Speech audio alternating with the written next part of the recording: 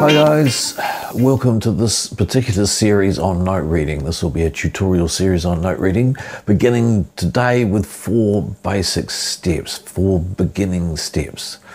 These steps will be one, uh, the general concept of the stave, how it works. Um, two, how to find the notes on your instrument. Three, how to find the notes on the stave, the um, rhymes, if you will for some beginning note lengths to, to look at. Um, one beats, two, three, four. Uh, so be patient with yourself. Have a go at trying to read some of these notes onto your instrument. Um, we're not trying to sound too wonderful at the moment. We're just trying to get a process going so as we create a reading habit. Today, we're going to get into the beginning concepts of note reading. Just four of them, just to get you started. And I intend to get you enthusiastic about the idea of finding notes on the music and being able to play them on your instrument. There'll be a little bit of timing, but it's important to note that this is just a scratching the surface of a very interesting subject with the whole reading of scores. What we're going to deal with is the four basic concepts to start with. You will see up there on the screen a stave. The stave will have five lines and four spaces.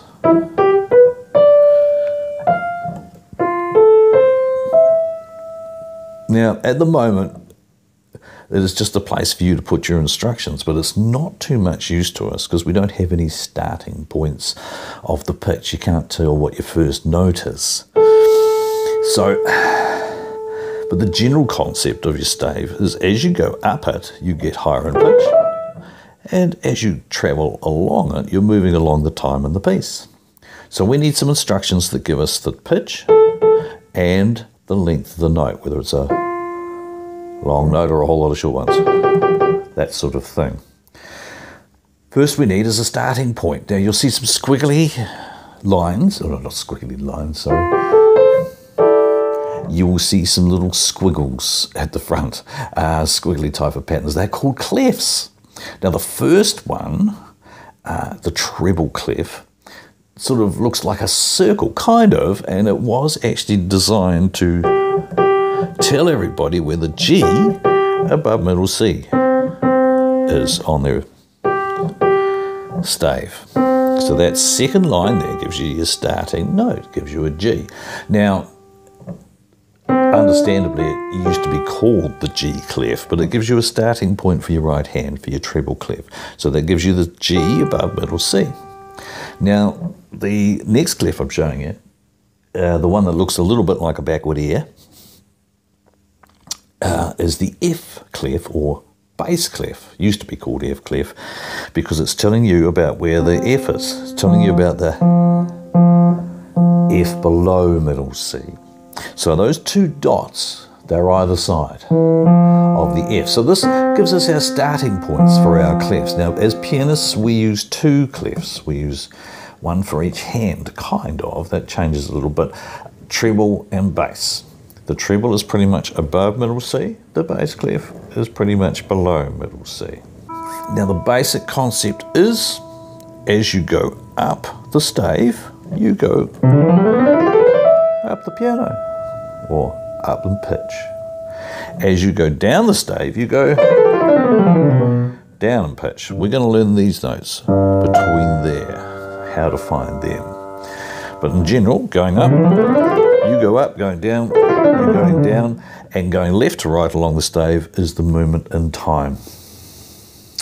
Okay, now that we've kind of got our starting points, we actually need to be able to find out the, where the notes are on the instrument.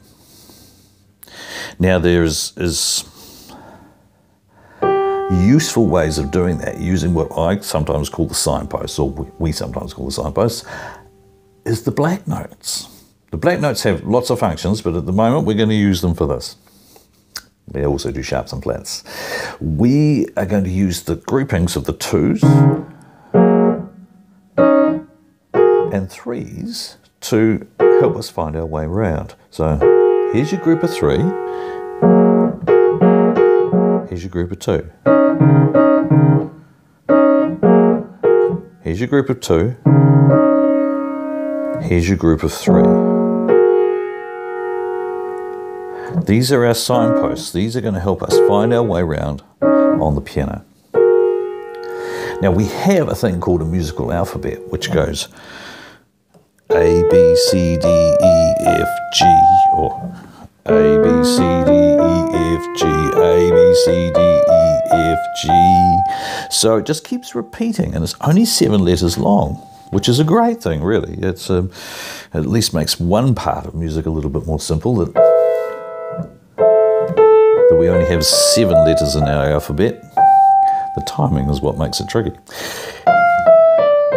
Now, as I'm going through this, A, B, C, D, E, F, G, A, B, C, D, E, you might have noticed that the D's or every note keeps appearing in the same place according to where the black notes are. So that is how we're going to find our way around. That is why I call them signposts. If you look at the group of two, D is always in the middle of them. So this is a D, this is a D, this is a D. And you can hear those notes the same. You know, they're pitched a bit lower and that sort of stuff, but they still sound an octave apart, the D. So the D is in the group of two, right in the middle. Now, in the middle of the group of three, it's quite useful to remember that this is where the musical alphabet ends with the G and starts again with the A. So the end and the beginning is right in the middle of the group of three.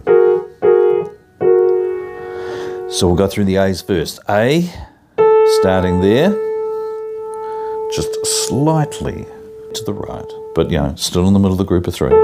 We have the A. So A, A, that's out of shot, not to worry. A, come down, there's a A.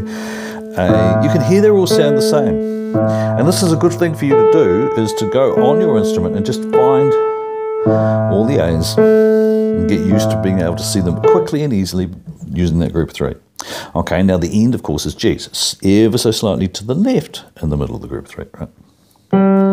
So we have G, G. Right. And do this, go around your instrument.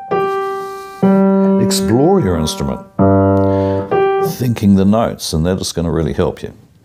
Okay, now we've got the middles covered. We'll go back to the group of two, and to the left of the group of two is C. And most of you probably recognise that as middle C. It's kind of one of the first ones we learn, isn't it? But the C is always to the left of the group of three. So C, C, C, etc. Okay, to the right of the group of two, which I'm quite sure you're starting to get all this now, is the E's. So we've got E, E,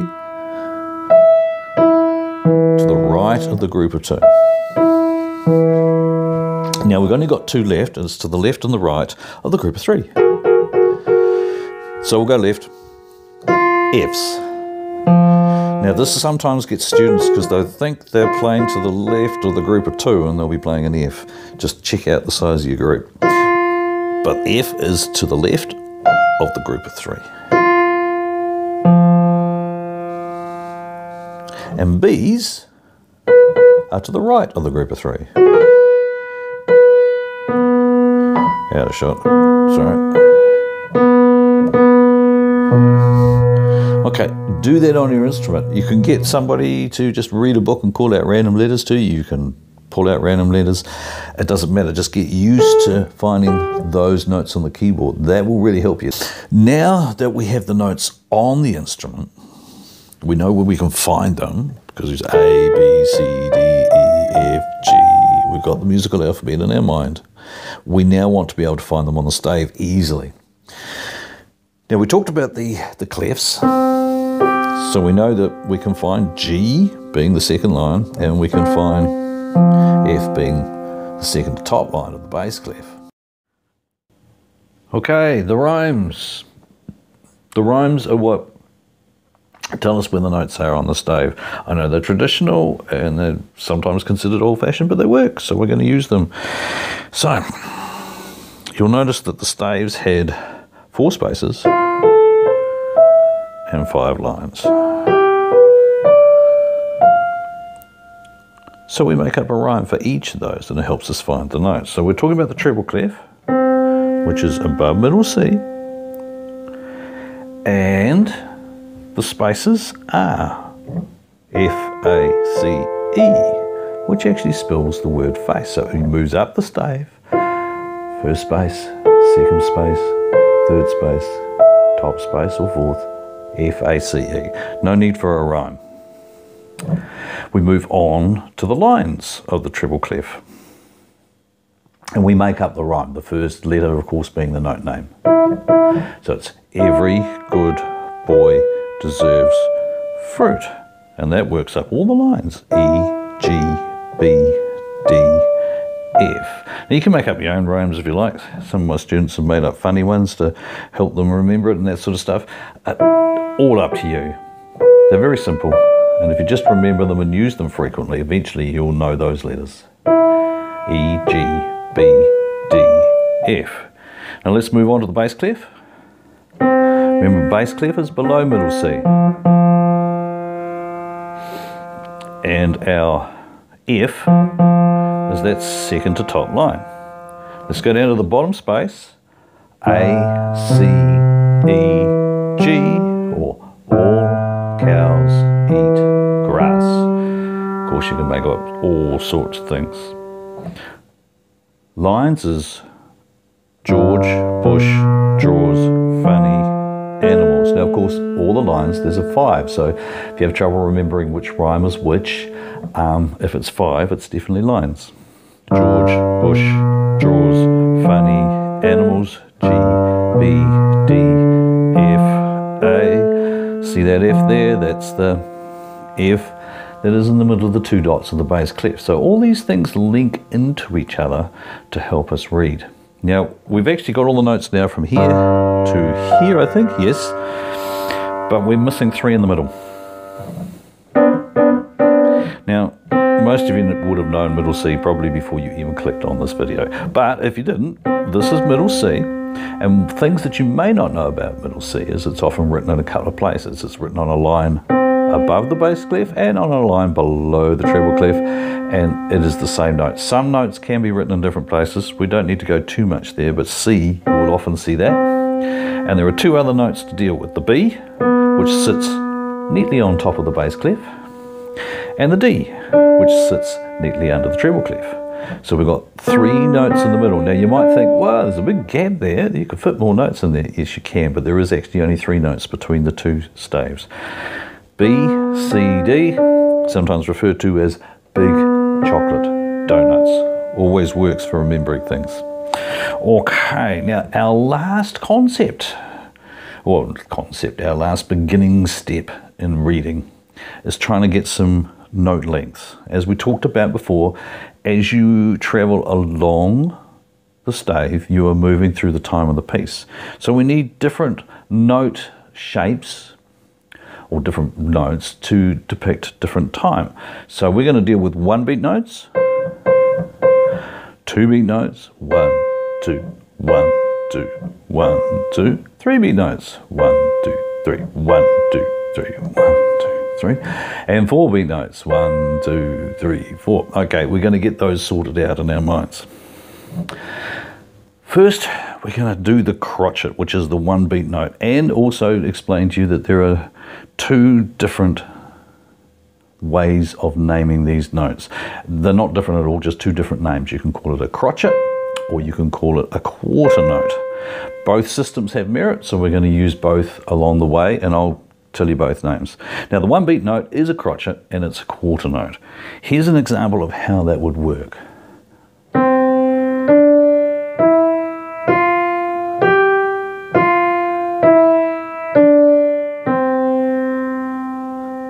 Okay, up on the screen, we're just traveling through in crotchets.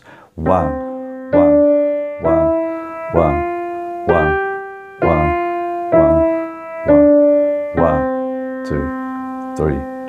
four. And there, that last note is the whole note, which we'll explain in a minute, but it lasts for four beats. Okay, the next note we want to pick up is the minim. It's not coloured in in the middle, and it lasts for two beats. So when you play stuff with that, it's one, two, one, two, one, two, one, two, one, two, one, two, one, two, one, two, one, two, three, four. Longer notes. And of course, holding your longer notes makes the makes the music better. So do do hold notes for their full length if you can help it. Okay, the next one we want to deal with is a three beat note. We're not going to explain too much the dot, that can be another video. But just know that the dotted minim or the dotted half note lasts for three beats. One, two, three. One, two, three. One, two, three. One, two, three. One, two, three. That example there is using some dotted half notes. One, two, threes, and some crotchets, ones. And the combination make that little line there. You can see that it makes quite a difference to how long you hold a note. Now, of course, the last note that we need to deal with is the four beat note, which is the whole note, the semi-breve, all meaning four beats. So it's one, two, three, four, one, two, three, four. Now, you would have seen that I used those at the end of both the crotchet, the um, minim, and the three beat or dotted minim example um, just to show you what a four beat is like. One, two, three, four. And I used it to complete the lines. Each one of those bars added up to four. That is actually probably the topic of another video, but we aim at four because that's probably our more common time signature.